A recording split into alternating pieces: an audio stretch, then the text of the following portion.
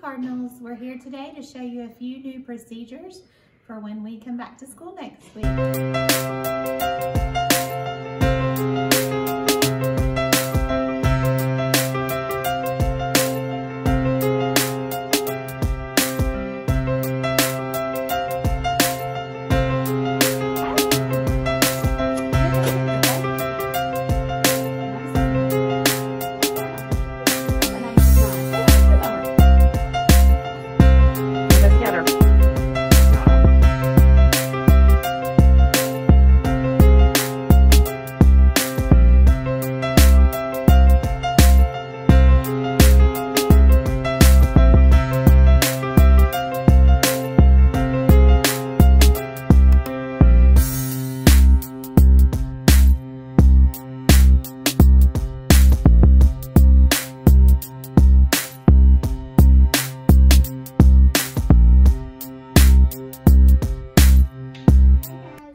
Six feet apart, you may take your mask off for a mask break.